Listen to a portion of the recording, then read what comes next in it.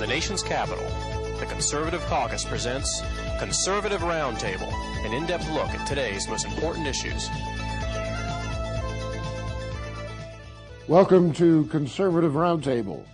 I'm Howard Phillips, chairman of the Conservative Caucus, which sponsors these broadcasts. We're privileged to have as our guest for this broadcast a man whom I've known for a number of years, a man of extraordinary accomplishment. He's got incredible experiences and achievements in his still young life. Stephen Allen has a law degree. He has a PhD in biodefense. Uh, he went to Cumberland Law School. He has an MA in political science, a BA in political science. He's been a writer and editor. Uh, he helped run a major direct mail company. Uh, he's participated in the writing of books. He's been a speech writer and speech deliverer.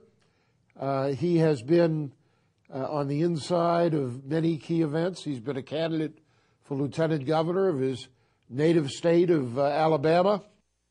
And yet, despite all of these achievements, all of these accomplishments, he's now, and I've listed just a fraction of them, he's now in the cartoon business. tell, tell us how you got there, Steve. Well, you know, and tell us what it is. Well, uh, the, the, the comic is uh, The Gentleman from Lickskillet, and it's the story of a, uh, a congressman from the mythical 8th Congressional District of Alabama. Are only seven. Uh, normally, there are actually seven, so we made up an eighth. Wait for the seventh. See what Acorn does. Yeah, that's right. That's right. And we um, and we talk about Acorn in the strip, by the way. And uh, but the the uh, the district is uh, roughly northeast Alabama, and that's an area that I, I, grew up in. I was a newspaper reporter, radio news director in that area.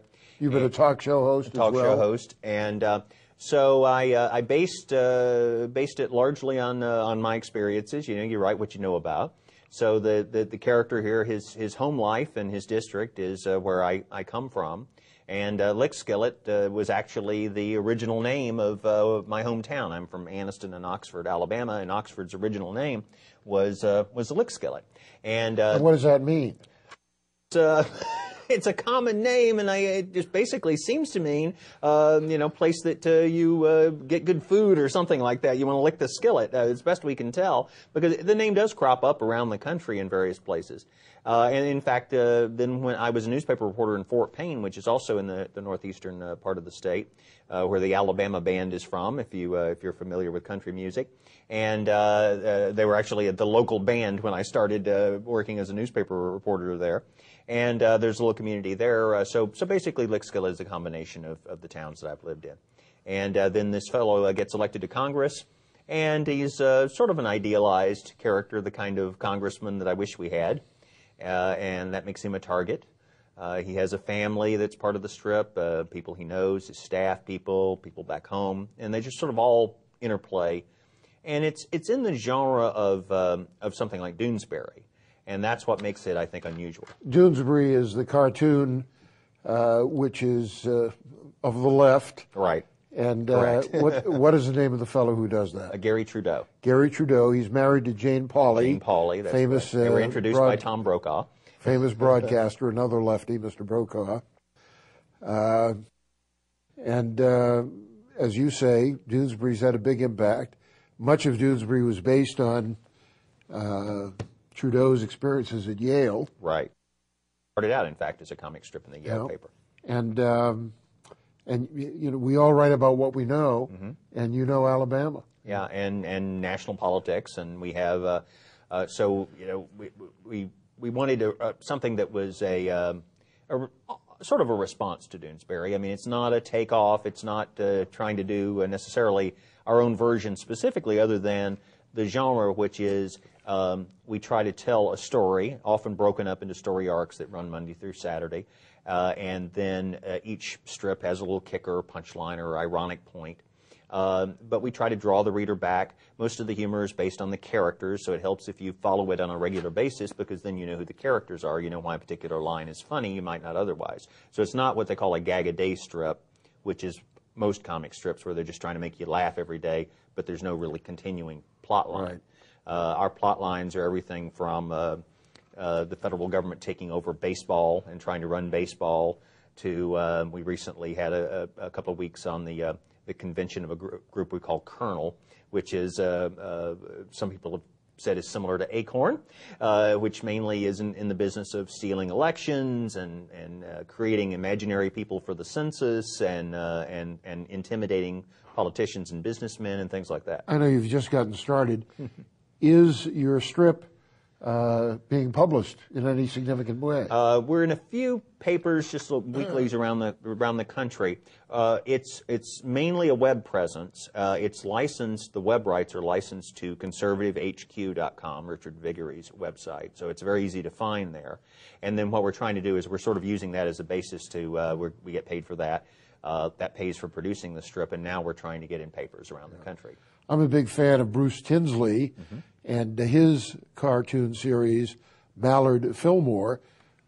Uh, you've sort of hinted at the difference, but please explain what distinguishes uh, your strip from the Mallard Fillmore. Strip. Right. His is mostly it's it's it's sort of an editorial cartoon uh, approach. In other words, it's an issue, and he'll have Mallard or one of the other characters uh, comment on an issue. Maybe he'll have a liberal character who'll you know, make some uh, counter comment. And, uh, but it's not really, they don't really have continuing plot lines. There are a few plot lines, but, but mainly it's just, uh, it's, it's making his editorial statement, and that's fine. Yeah. Absolutely no criticism. Two of the great ones, whom I, I knew personally when I was a college undergraduate, mm-hmm. Were Walt Kelly, mm-hmm. who did Pogo, and Al Capp, who did Little Abner. Right. Both of them moved to the right as time went on, especially Al Capp. When I was a Harvard freshman, I visited Al Capp at his studio in Boston, mm-hmm.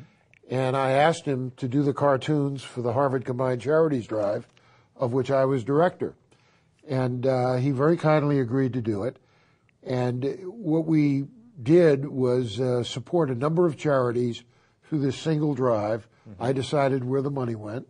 and uh, the theme was once and for all and Daisy Mae was our heroine. Wow. And he did a whole bunch of Daisy Mae cartoons for us. And actually, uh, that was how I became president of the Student Council. I had a political organization in every one of the hundred or so entries on the Harvard campus. Uh, and every night they reported to me about how much money they had collected, what they had done, and so forth. And all of it was facilitated by Al Capp, who was a terrific guy. He was so kind to me. He was so good. And I remember going to his studio, and there were, what, 20 people on the drawing boards mm-hmm. working with him. But he started out as a leftist, and he right. became a strong anti communist conservative. In fact, at one point there was talk of trying to get him to run against Teddy Kennedy and yeah. so forth. And uh, yeah, actually, I, um, you know, a lot of times when you have uh, uh, conservatives trying to do something liberals do, uh, particularly in the humor field, uh, they're, they're coming in and they're, they're just sort of copying what the other, other side is doing. Uh, in my case, I have a long, a lifelong interest in, in, in comics. Uh, I've been I've been collecting uh, comic strips, comic books, uh, going back to uh, gosh, nearly 45 years. Do you now. remember Oswald the Rabbit? Uh, yes, absolutely. Yes. And Where did he go? well, actually, uh, I'm, I'm, I'm, I'm pulling out the memory, but as I recall, it was uh, it was an ownership thing regarding Disney and so forth. That, I uh, preferred Oswald. Yeah, yeah. Uh, he was better than Bugs Bunny. I guess Disney was doing him, and then when he left, he had to create his own character, and uh, that's where uh, Mickey Mouse came from. But uh, I actually have gone back over the year. I did this when I was a kid, and I read every Little Abner from the first one. I read every Pogo from the first one, all the you know Dick Tracy and, and Alley Oop and every one.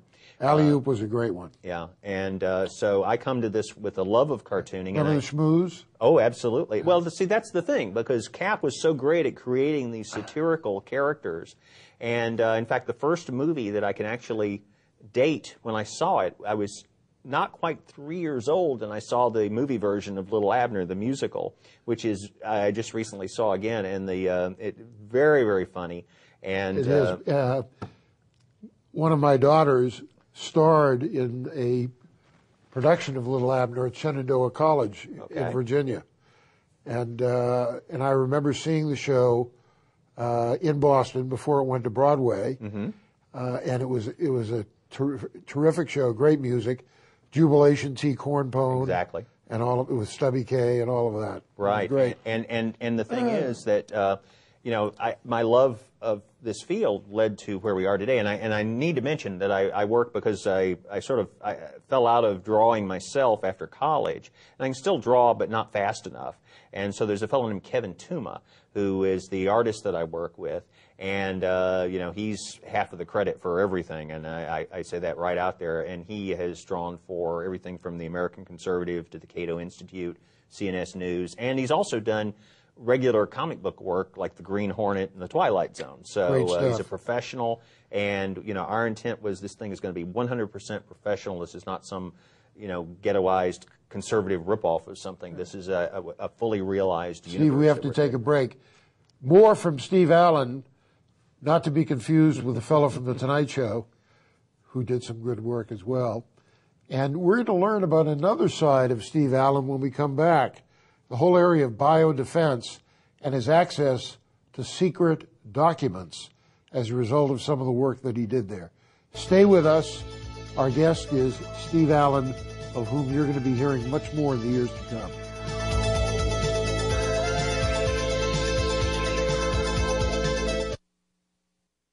You are a defender of liberty.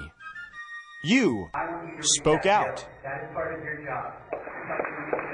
You were heard in Congress. No. You marched. You created a new movement.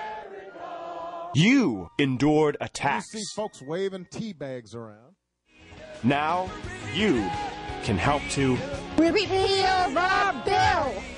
Go to sendthemamessage.com. Print the pledge to repeal Obamacare. Send it to your representative senators, and candidates to sign that they pledge to repeal the bill. Repeal the bill. Repeal the bill. Repeal the bill. Repeal the bill. Repeal the bill. Repeal the bill. Repeal the bill. Repeal the bill. Now. Go to sendthemamessage.com and help. Repeal the bill.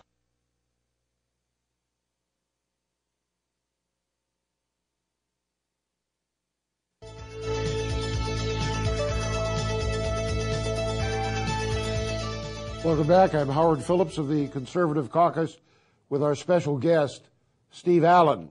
Steve, you had a life before cartooning. Uh, you did many things in politics. You were state youth chairman for Ronald Reagan in 1976, and uh, you you did uh, many things in the uh, political world. And one of the things I find particularly interesting is your work in the field of biodefense. You have a special, you have a PhD in that PhD, field. right. What is biodefense? Biodefense is the area where um, it brings together two different two different areas of study. Um, on the one hand, you have uh, public health, you have microbiology, biochemistry, epidemiology, and on the other hand, you have national security and homeland security. And biodefense is the, the, the area in between that brings both of those together. And uh, what happened was uh, there was a program at George Mason University uh, that was started up after the, um, particularly the anthrax letters attack in 9 11, uh, because, uh, as we all know, uh, Al Qaeda has uh, put a high priority on obtaining biological weapons. And biodefense is, is one of the, aspects of biodefense is defense against biological weapons.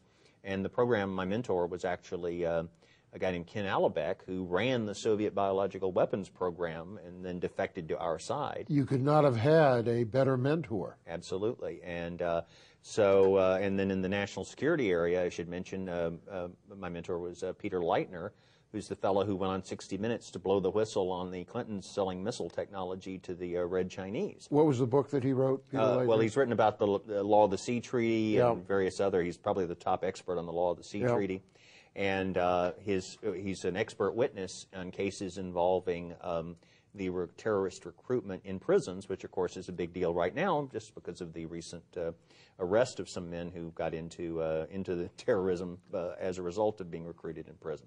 Uh, so uh, in U.S. prisons. So um, in biodefense, we are we're, we're you know it, it can extend everything involving pandemics, the recent concern over swine flu, and so forth.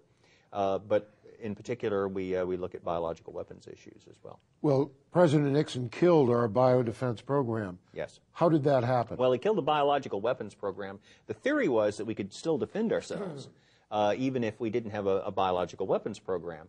so, in other words, his, he said, let's do defense but not offense. defense but not offense. Well, the problem is, of course, that you know you you it would be like uh, saying we're getting rid of all the government computers uh, in 1969, uh, but we'll still keep track of what the potential threat is from computers, even though we don't have any. Uh, and the, the, the, the getting rid of the biological weapons program on the part of the U.S. was predicated on uh, Nixon being assured by every expert in the field uh, that the Soviets uh, would never pursue a biological weapons program because, uh, first of all, biological weapons didn't work. And secondly, the only reason they had them was because of the arms race and the idea that, well, the U.S. had them, so they had to have them too. Now, that's, of course, total nonsense. First of all, they do work. Secondly, the idea of an arms race, as you know, is, is, is ridiculous. If by arms race you mean the only reason they build weapons is because we have them, and if we'll stop, they'll stop. That was never true. And Nixon basically got snookered. Who did the snookering? It was um, it was a process that goes back actually in my dissertation, um, 149,000 words and 1,011 footnotes because I had to prove all this. Uh, started in the 1930s when there was a concerted effort by the Soviets and their friends to take over all the scientific organizations.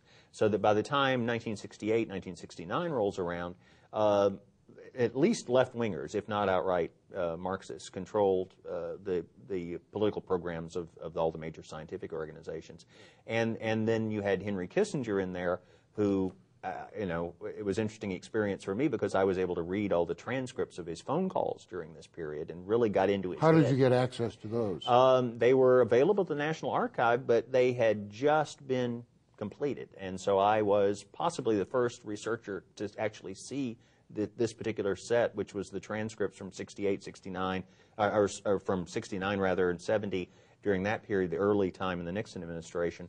Um, and um many things that people think to be true about biological weapons, uh, including the process Kissinger went through, who talked to him, things like that, that you see in PBS specials, you see in specials on the History Channel, they're just not true. And I, I was able to determine that through the, the course of reading these uh, these transcripts, which weren't even indexed. So I had to read all of them, even the ones that didn't have anything to do with my uh, my area of interest, because there was no index to them. what conclusions did you reach about uh, Dr. Kissinger? Um, you know, one of the things that interested me when I first got into national politics, you mentioned that I was youth chairman in the Reagan campaign in 76, and I was delegate for Reagan then.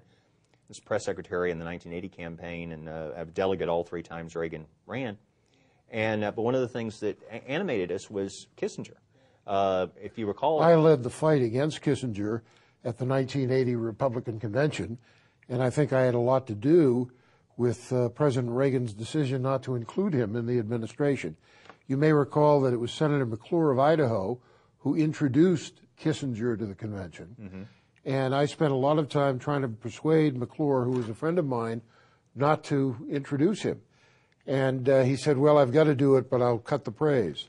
but uh, in any event, we really hammered Kissinger at that convention. Well, uh, the thing that I discovered was that uh, uh, as bad as conservatives thought Kissinger was, he was actually worse. Yeah. So uh, then, you know, that, then there's nothing like actually reading all these transcripts. Steve, I was in the Soviet Union in 1975, and I spent some time with Richard Combs, who was the chief of mission uh, at the U.S. Embassy in Moscow. And I said, Why is Kissinger making all of these concessions to the Soviets?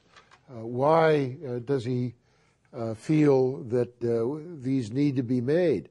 And Combs said, Well, Dr. Kissinger believes that the correlation of forces is more favorable to the United States today than it will ever again be, and uh, we've got to strike a deal while we can. Exactly. As if the Soviets had departed from Lenin's uh, assertion that Peter treaties are like pie crusts made to be broken. And, and, and, and worse than that was that the CIA estimates of Soviet strength were based on the idea that a planned centralized economy is far more efficient than a chaotic free market economy, and therefore the Soviets were going to surpass U- the U.S. in industrial production uh, by the 1980s or the 1990s at the latest, and that was the CIA projection. So, you know, if you believe that, then I guess you do believe we have to cut a deal with the Soviets. While How long have you been out of that field of biodefense? Uh, never really left it. I've just I've been doing other things as well. I'm sort of a policy analyst. I do do all sorts of different things. Sometimes I do biodefense. Sometimes I do other things.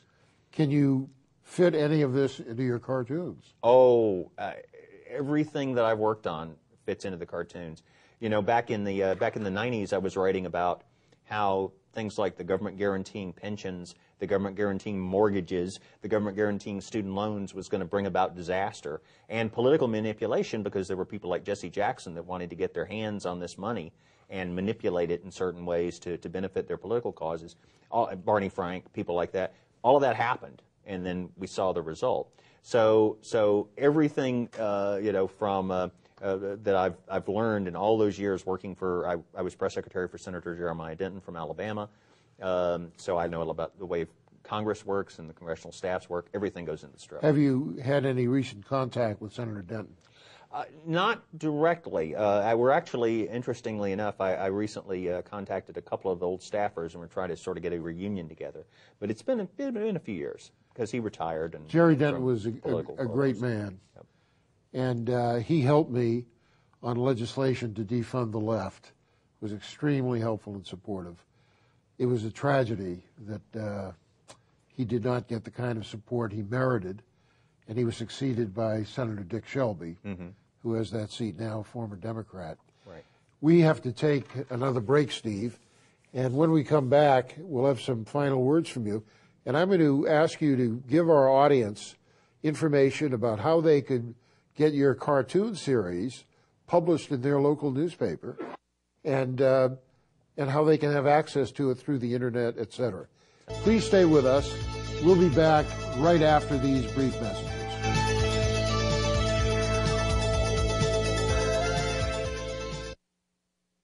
Hey, listen.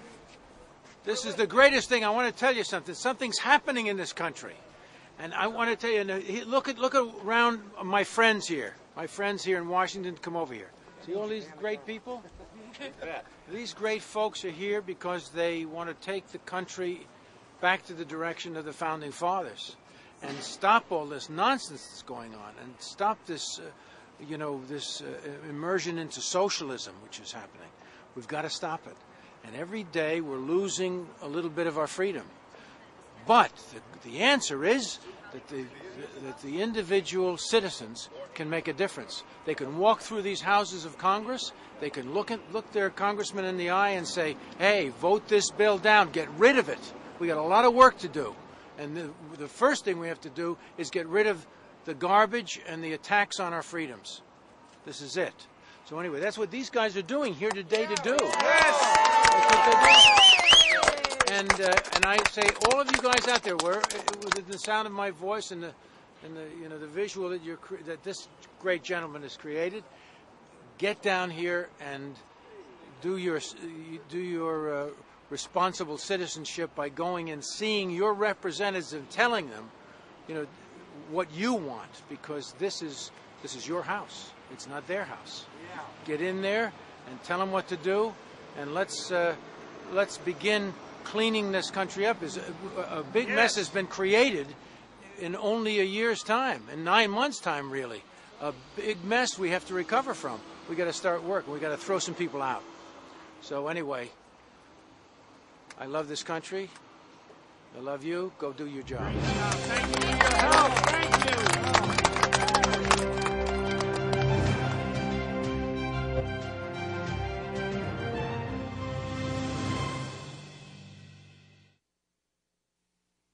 Welcome back. I'm Howard Phillips, chairman of the Conservative Caucus, which sponsors Conservative Roundtable.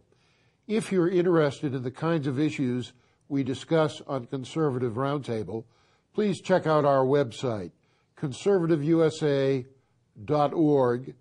Uh, if you'd like to receive, with no cost or obligation, some of our literature, uh, fax me your name and address and contact information. Our fax number is 703 281 4108, or you can snail mail me a letter at 450 Maple Avenue East, Vienna, Virginia 22180. Steve, this has been a great discussion. I, I'm very hopeful about your cartoon series.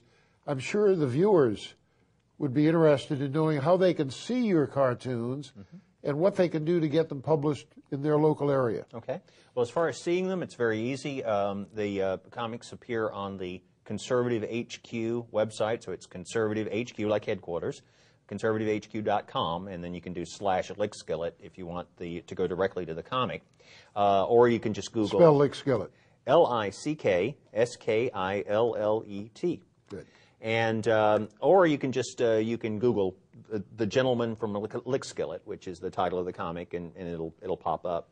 Uh, and then the way that you can help out uh, with uh, getting it in newspapers, and that's what we really want to do, uh, is first of all you, know, you can contact your your uh, local newspaper, but mainly uh, I think it's good to get in touch with us. We're going to be starting a, a, a place on Facebook. And how do that- people that get in touch with you? Uh, the best way is the uh, is the email, which is editor, like editor E D I T O R, at lickskillet L I C K S K I L L E T dot org, and it's dot org O R G.